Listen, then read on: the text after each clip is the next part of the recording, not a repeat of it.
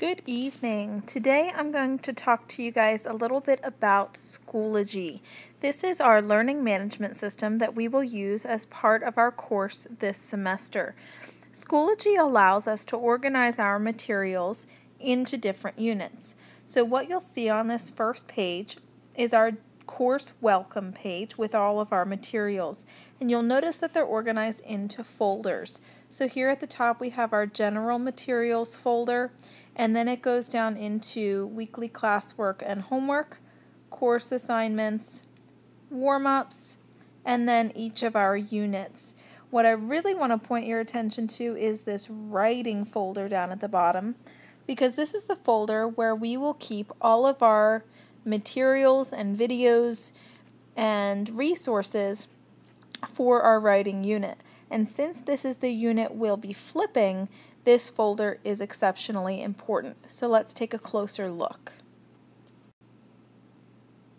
Within this writing folder, what you'll see are our different writing units. We'll start off with writing non-negotiables, and then move on to pesky punctuation, absolutes and appositives, parallel structure.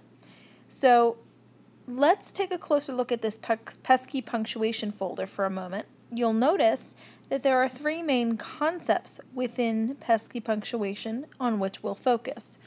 First one is comma use, the second one is colons and semicolons, and then we have dashes and parentheses.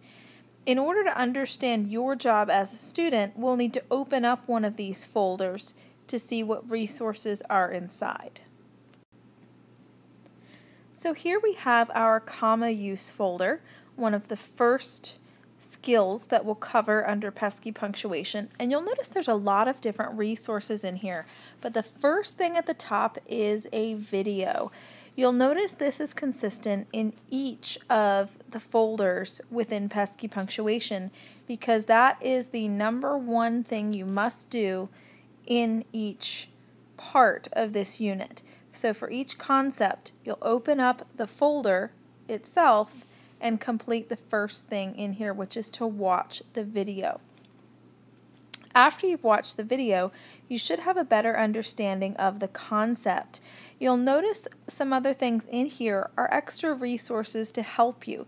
So if the video isn't as helpful as you'd like, what we have here are written descriptions. So these are handouts that are meant to help you visually see and have in front of you the grammar concepts. So you can download these into Notability, you can mark them up yourself, and then you can even email them to me to get my feedback on them if you like. We also have some practice things in here. So this green puzzle piece means that this is a practice quiz.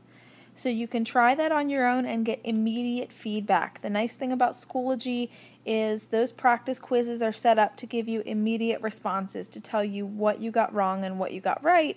So you can check your answers, see how you did, and if you scored well on the practice quiz, then you probably know you're ready for the actual quiz.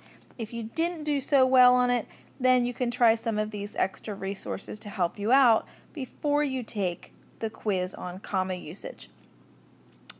So here we have at the end just some general review items as well.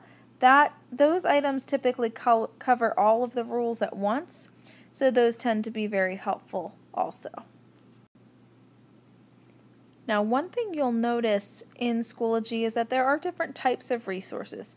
These PDF assignments that are here are documents. I mentioned the green puzzle piece is a quiz. And the link at the top is a video that just shows a, a link to outside resources. But you'll notice here on the top right hand corner, I can also add discussion posts for you to talk to each other and maybe create your own sentences using these rules. I can create an assignment. So sometimes for the video, what I'll do is add it as an assignment because I specifically want you to submit your notes for that video. So adding that assignment will allow you to upload your notes right into that assignment submission and then I can see whether you've done it and whether you've done it on time. So that's nice for me as well. Again, we've got discussions, files, links. I can add pictures so you could write sentences about different pictures and post those. So there's lots of different resources we have within Schoology. The other thing you might notice that I'll do from time to time is create a must complete folder, which means that all the things on the list must be done in order and you cannot move on to the next item until you're finished with the one that comes before it. So sometimes I'll do that because I want you to watch the video first and then there are certain things I want you to do in successive order. We won't do that all the time, but every once in a while you'll notice that I'll do that within Schoology. And I think that'll really help us with our flipped unit. Here's one last feature that will really help us to all stay on track during this flipped unit. You'll notice that for each assignment, I can post a due date to let you know when each piece of that unit is due. So you can stay on track and it will give you updates and alerts as soon as you log into Schoology and take a look at that. So please look out for that.